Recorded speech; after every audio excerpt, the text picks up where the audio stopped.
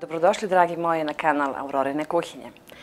Pošto je velika vrućina i stvarno ne možemo ništa da radimo u kući, danas ćemo da napravimo jednu lepu prženiju, ja je tako zovem, ali ovog puta samo paradajz, znači nema paprika, nema luk, već vidjet ćete na moj način. Ja ovo stvarno najviše volim, to sam rado jela kod svoje majke. Pravit ćemo na terasi, pa ostanite sa mnom i pogledajte. Ne znam da li vi pravite ovu prženiju, ja je tako zovem, ili moja deca kažu mackano, zato što oni vole domaći hleb i ovu prženiju. Ovo je nešto najslađe. Stvarno brzo se priprema, a sad svi imamo paradajz, da li u bašti, da li kupimo na pijaci. I treba nam par komada jaja na kraj, ali gledamo da stavimo što više paradajza, jer će dosta tečnosti da ispari prilikom prženja. I onda domaći hleb uz ovo, ako možemo da mesimo uopšte po vrućini. Znači, ništa ne ljuštimo paradajz, nego sve ovako sa sve ovom kožicom. Samo ovako na sitne kockice i ide u tiganj. Stavila sam malo ulja u neki veći ovako tiganj da bi se što pre ispržilo. Onda gledam ovako da bude što širi. Stavimo lepo. I stavimo lepo napolje. Moja mama to rado ovaj, ima jednu ovaj, letnju kuhinju, ona to lepo založi šporet, stavi ovo da se krčka ovdje, ne treba ni da se meša ništa, povremeno samo, puno slađe, paradajz iz bašte koji ima sada domaći, on je onako mesnatiji, puniji nego ovaj što kupujemo u radnji, ovaj nekako drugačiji skroz i punje vode.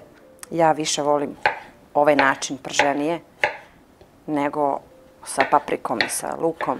To mi je previše masno, i, a ovo je baš fino, lagano. Sad kad su ove vrućine, jer verujte i kod nas je isto stvarno 40. Nemoguće je bilo šta sad da mesimo. Mesit ćemo kad malo zahladni. Ja sam pripremila ovdje sigurno i preko kilogram paradajza.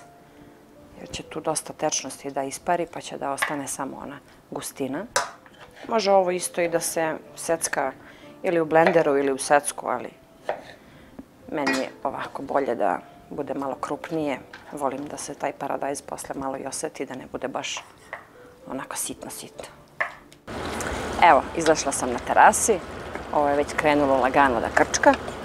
I sad ovako čisto na dvojku, znači na skroz lagano da ispari sva tečnost i voda ali meni se stvarno ne žuri, meni je baš lepo ovde, pirka mi vetrić i taman do ručka bit će ova prženija gotova. Tako lepo miriše i podsjeća na onaj miris kad spremamo zimnicu pa kad pržimo onaj paradajz. Tako da je ovo baš, onako baš lepo. Kako se vi rasklađujete na plus 40? Pišite mi u komentarima. Stvarno je vruće i prevruće. A zato je ovo jedan lagan ručak samo malo sira, parče sira i malo hleba i ne treba nam ništa, lagano. Ovo se jako brzo sprema, evo već se lepo zgusnulo i stvarno baš će brzo da bude gotovo. Najbrži ručak. Pa kako se već lepo zgusnulo.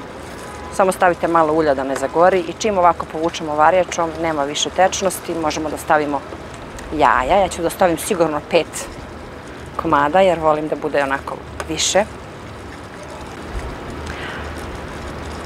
Jako lepo miriš. Evo, sve je tečnost isparila. Nema više. Sad možemo da dodamo malo soli. Ja obično stavim malo soli i malo volim začina. I onda ćemo da umutimo jaja. Začine stavljamo po ukusu.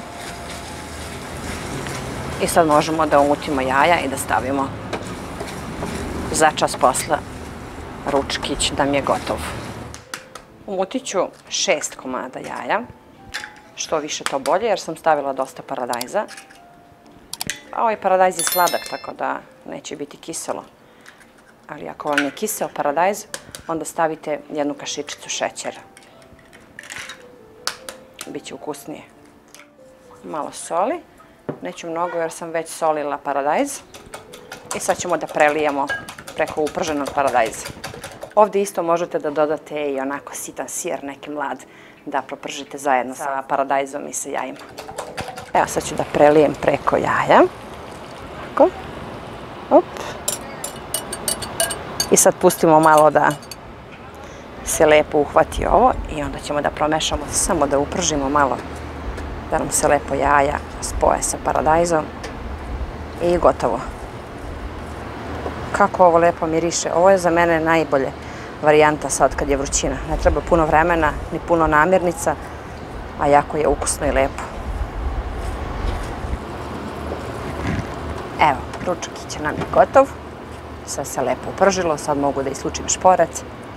I šta nam drugo preostaje nego, pošto ne možemo da mesimo hleb jer je stvarno prevruće, možemo da kupimo ili eto, da se snađemo, ali da mesimo neki možda drugi put i da uživamo u ovom laganom, finom letnjem ručku. Evo, ručak i još na terasi. Mm.